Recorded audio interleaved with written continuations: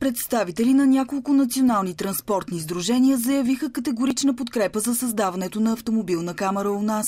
Те определиха протестите на други превозвачи днес като безпредседентен рекет към изпълнителната власт, бранша и потребителите. Ние сме готови на 4 юли да протестираме, след като нашите колеги с 50 автобуса и 10 камиона могат да въздействат по такъв начин върху законодателната власт в страната, ние ще покажем кои сме и как се организира протест, за да е видно коя част от бранша е по-голяма и се заканиха да изкарат 3000 камиона, ако гласът им не бъде чут. Според контрапротестиращите, другите превозвачи са, цитирам, шепа самозванци и най-големите нарушители в сектора. Именно за това се страхуват от създаването на автомобилна камера, която ще изхвърли от пазара нелоялните играчи. Контрапротестиращите показаха документ, в който се виждат организаторите на днешния протест.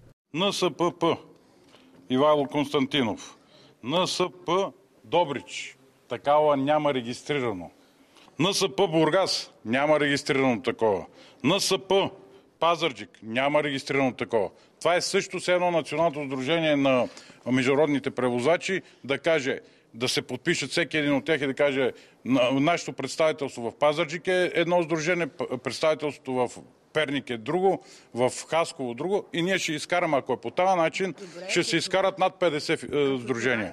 Ето ви, тия три, три сдружения ги няма никъде в регистра. Да. Ето ви. А другите са, а, а, а другите са брат, сестра и братовчет. Според контрапротестиращите, превозвачите вероятно са подвели премиера Борисов с манипулативни аргументи, за да го убедят да разпореди оттеглянето на законопроекта и настояха за среща с него, за да представят и своите доводи в подкрепа на създаването на автомобилна камера.